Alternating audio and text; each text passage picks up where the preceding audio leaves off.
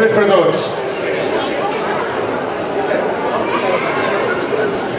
Anem a fer, com cada any, el pregó de la Festa Major, però abans de començar deixeu-me demanar-vos un aplaudiment per aquesta gent del Bloc Quilombo, que no sé si ens sentiran, que ens han fet una cercavila i un espectacle fenomenals. Ah, ara els veig, estaven allà, que no els veia. Ei, bon vespre. A veure, eh, ara fa un any ens trobàvem aquí fent el pregó, estàvem en plena campanya electoral i des de llavors han passat doncs, tot un any de coses. Ja sabeu que cada any intento explicar-vos alguna cosa i, i després de seguida de seguida donaré la paraula dels protagonistes d'avui, que són el casal de la gent gran. Deia que fa un any, en plena campanya, vam fer la festa major i des de llavors han passat moltes coses. La meva neboda riu. Uh, nosaltres, com a, com a projecte de Vilabarès, doncs, vam tenir la sort que tots ens féssiu confiança i tornem a estar aquí quatre anys més intentant fer feina. Des de llavors doncs, ja n'hem engegat algunes de coses. Hem engegat el projecte de l'anglès al nostre poble, que vam dir que faríem i que hem començat i que encara eh, falten per posar en marxa algunes de les coses que vam dir que faríem eh, que seran segurament més novedoses i que portaran a que tota la nostra veïnada acabi dominant, com és el nostre objectiu, l'anglès, però també tota la nostra gent gran que fa els cursos a Can Groat, que tenim doncs, pràcticament un centenar d'inscrits. Hem fet també eh, algunes de les coses que vam dir que començaríem a fer, com el carrer, que per desgràcia avui fa tres mesos que vam començar i per culpa de la pluja i d'alguns inconvenients que hem tingut encara no estan, però que en 15 dies tindrem acabat i que ha ocasionat algunes molèsties als veïns, evidentment, però sempre que fas obres això passa i en pocs dies el tindrem acabat i veurem doncs, com eh, volem nosaltres que siguin els carrers del nostre poble en un futur no massa llunyà.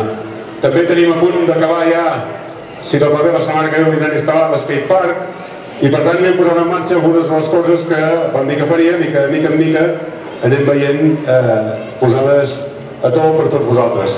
Al país també han passat moltes coses, poc després de les municipals vam tenir unes eleccions que van conformar una majoria independentista per primera vegada al Parlament de Catalunya i que va costar molt, però hem aconseguit formar un govern que té l'objectiu de portar-nos d'aquí ara ja més 14 mesos a constituir la República Catalana.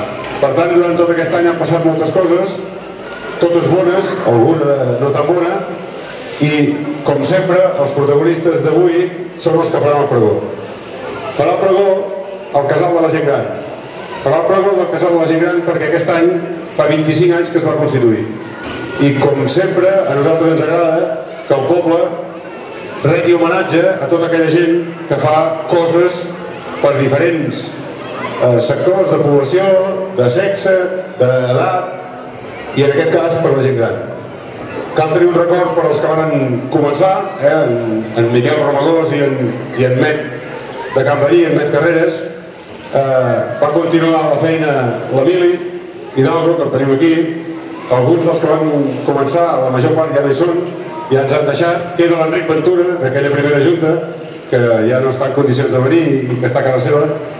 Deia que l'Emili va continuar la feina que havia engegat els altres, primer amb un local que hi havia aquí sota, on ara hi ha serveis tècnics, després a Can Ballí, i ara, eh, a l'última etapa de Can Ballí, i en aquesta del Nou Casal, la Junta encapçalada per l'Enric Guillaumes i tota aquesta colla de gent que aquí ha revolucionat el casal de la gent gran del nostre poble. I ens ha semblat que 25 anys després de constituir la, el casal de la gent gran era de rebut que poguessin retre homenatge ells fent el pregó de la festa major. Per tant, ja li dono el micro a l'Enric, que diu que no està gaire nerviós, no patiu, que ho farà molt bé, i després del, del pregó del casal de la gent gran farem, com sempre, un pica-pica que ja comencen a preparar alguns dels que sempre estan per la feina i que segur que trobareu molt bo. Bona festa i salut!